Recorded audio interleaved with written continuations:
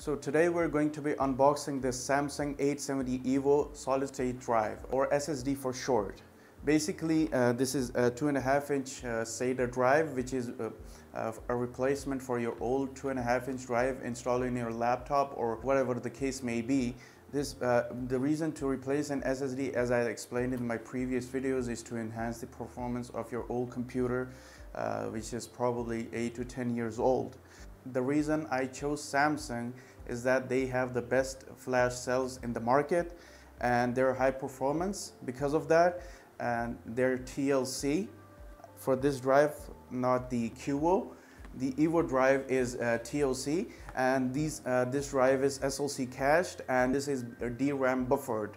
So uh, the reason you want to go for a DRAM uh, SSD is uh, because they tend to perform very well. Uh, the, the, the, SSDs without a DRAM are terribly slow and you want to avoid that. So for this SSD in particular, like this one comes in uh, this 870 EVO, uh, comes in like uh, different variants, 250 gig, 500 gig, 1 terabyte, 2 terabytes and 4 terabytes.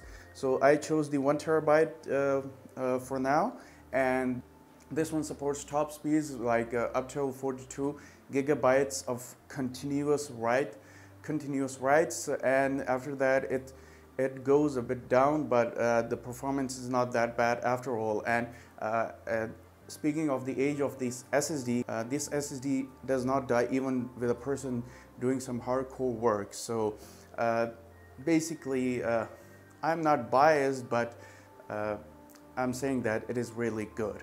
So without further ado, let's get into the unboxing. So here's the box. Samsung solid state drive, one terabyte, EVO 870 EVO, SATA two and a half inch. Now here's come the part where we talk about speeds. So the read speeds are 560 megabytes per second and write speeds are 530 megabytes per second. Now keep in mind these are sequential read and write speeds and these are the maximum speeds that this drive can achieve over SATA and the other uh, random read and write speeds may be different and um, not maybe uh, are different and are a little lower but this is how it is and this is the limitation of SATA not of uh, solid state drive.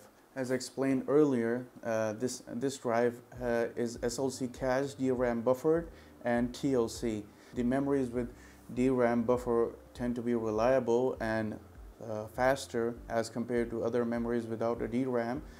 So enough with uh, this theory, let's get into the unboxing. So I have this cutter over here. Let's first look into the box. Not much on the box over here, but yeah, this is how it is. And let's open up the box. Opening up the box over here keeping that to the side. So what do we have here? Nothing else in the box, so putting that to the side. And this is the paperwork. I'm gonna need the knife again, the cutter, to open up the uh, paperwork. In the paperwork, it explains about all the stuff and everything uh, warranty statement installation guide which here it is if you want to read it. So yeah. And it talks about its software uh, that you can use to like basically clone your other drive into this drive which is quite good. And here is the drive. So this is metal uh, two and a half inch this is uh, VNAND uh, SSD as 870 EVO Samsung 1 terabyte and product of Thailand in this case and Samsung solid state drive or SSD whatever you want to call it and it is quite slim and sleek and metal construction nothing else. And this is pretty much it for the unboxing So now we, we are gonna put this SSD in my laptop. So first of all, I'm gonna remove the battery like this and then you need to remove the screw over here. It's removed in here already so I'm gonna remove the cover. And here it is the here you can see there's the hard drive and there's the memory. I'm not gonna do anything with the memory the RAM. So I'm gonna remove this from here. Simply unplug this remove the hard drive from here. So removing this uh, rubbery thingy from this hard drive that I had in my laptop I'm gonna put that to the side. And now I'm gonna use my solid state drive and use this just to make it fit in this hard drive bay slash SSD bay or storage bay whatever you wanna call it. So there we go. And then we're gonna simply plug in my SSD over here.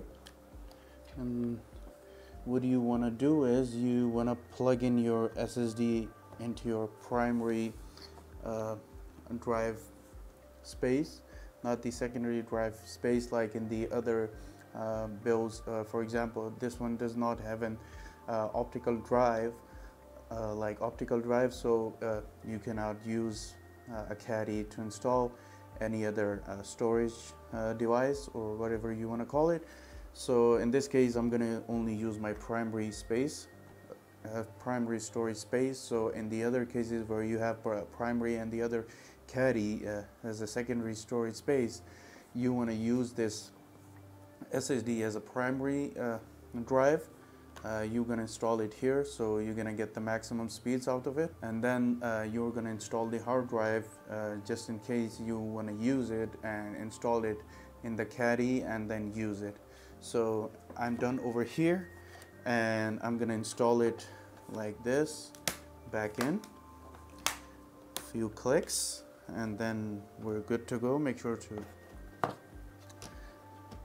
close it properly and then the battery and then we're basically done over here. So all the clicks are done and we're done.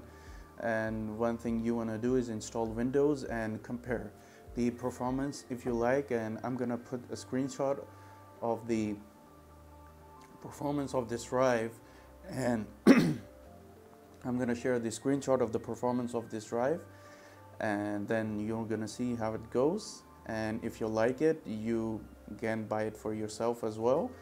And yeah that's it for today. And I hope you like this video. If so then like share and subscribe. And click on the notification bell. And I guess I'll see you in the next one. Peace